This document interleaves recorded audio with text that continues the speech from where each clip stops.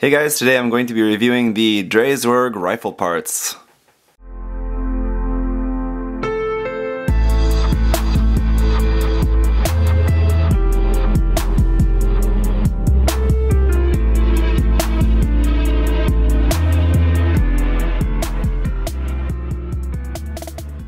Now if you'll remember, I picked this up way back, uh, quite a long time ago, back in Japan. And this is this set was originally intended for the RG Wing Zero EW, but uh, you can also use it now with the Wing EW, and I'll be showing you both of those as I've reviewed both of those kits now. I can show those to you uh, with this rifle set. Uh, everything that you need for the Wing Zero was included with this set, but with the Wing EW, you got a, an extra part that you'll need to attach these parts onto that particular rifle because the rifle's uh, shaped a little bit differently. Here we have just the rifle by itself. You can use this with a, pretty much any 1 144 scale kit, uh, a high grade or real grade, as long as it has a hand to hold onto the handle. Just has the one main handle there on the back. And then this sort of three barreled uh, system coming out the front. Honestly, not really too into the design. It's not really to my particular taste. It looks like something out of like uh, Double O or Gundam Age or something like that. Uh, it's not too bad, and I think it would look cool with the right setup, but uh, I'm just going to review this here for you guys today. What you're going to get with the set is just this main rifle here, which you can see, which is probably going to be a little bit on the heavy side. Uh, but then on here you can take off these three parts they just slide into there on there and then the handle each one has its own individual handle which just uh, rotates down like that and then each handle has its own little peg on there which you can use for pegging into the hand of the Wing Zero. I believe uh, one of these, uh, one is different and two are the same so let me slide these other ones out just to check that. You can see uh, some of them one has the peg on this side, one has the peg on this side, and the third one has the peg on that side. So two are going to be uh, with the peg on the side for holding it in the left hand. One is with the peg on the side for holding on the right hand. So you could hold like one in each hand like that if you did want to have just as the individual rifles, something like that. Then we have four pieces here which are just for connecting this stuff onto the rifles. Uh, I'll just put that to the side. Then we have these two parts, which are interesting. These two parts are actually uh, like brace pieces. You'll put these connected to the shoulder of the Gundam to basically help brace the weight of the arms holding these giant uh, cannons on the already giant beam rifle of the uh, Wing Zero or the Wing EW. So these are just basically like brace parts for those. And then we have a small like uh, stand here now this basically on the end has an action base connector that you'll just attach onto the end of here and that is what you'll actually attach up underneath the rifle. So you'll be using uh, this piece here which goes up underneath the rifle and then is going to slide into here one or one way or the other if I can get it. There we go. Not really slide so much as it is just clip onto there and then the rest of the rifle is on there. You'll see that momentarily. Then at the base here these parts if you take these apart you can actually use these uh, just as like a rack if you lay out the rifles and you can lay the rifles onto these parts like a sort of weapons rack. Uh, not really all that interesting really, I don't know who's ever really going to use that, but it is something that you can do with this. Now I did do an unboxing for this way back when, but just in case you guys did want to see, here's what the box did look like. Really cool there of the Wing Gundam Zero EW. On the back just kind of shows you the kind of different names for different ways of how you're making it basically. Uh, with the actual Gundam's beam rifle in there, it's the Drei Zwerg Buster. And one thing that it says here on here, it does say that it came with the 2015 February uh, uh, edition of Gundam Ace Magazine. I wish it gave you the page number for what uh, page the instructions are on because here in the magazine, very huge thick Gundam Ace magazine, again really awesome cover art there.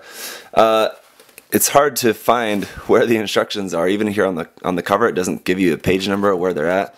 You need to go back here. I think it's in this section around here. There we go. It also doesn't help that the pages aren't numbered. But in case any of you guys are interested in seeing this, I'll try to give you a good look at the instructions. It is going to be relatively simple. Uh, and again, I'm pretty sure I showed this before.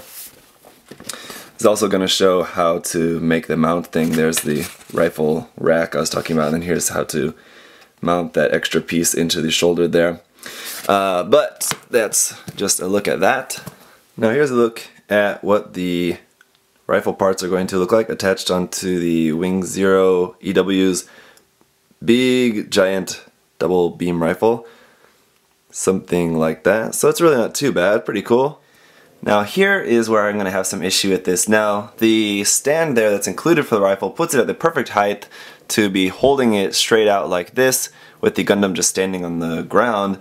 But the problem is if you want to have the Gundam up on an action base, it's going to make the Gundam too high.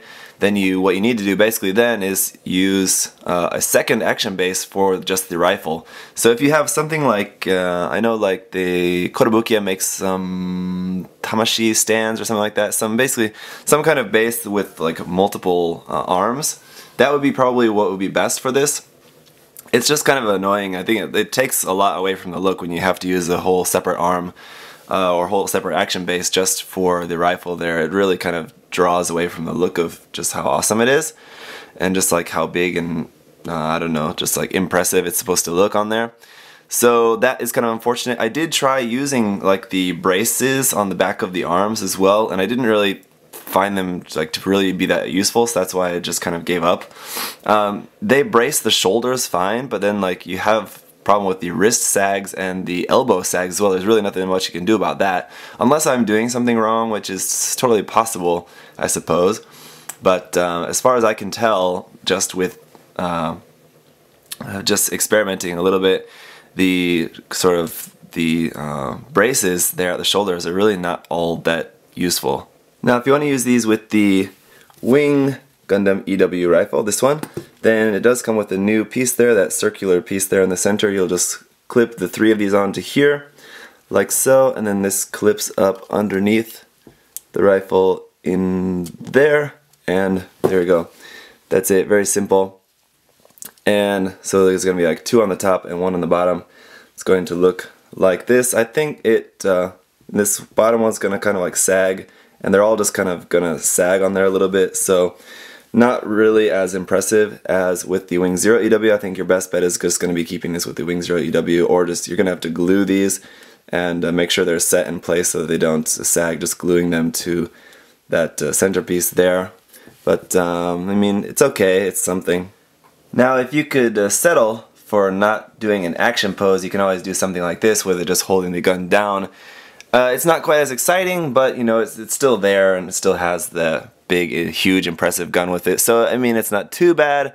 Still not going to look the greatest, but at least you're not having to use some sort of extra base just for the gun. So that's pretty much going to do it for the review of this set.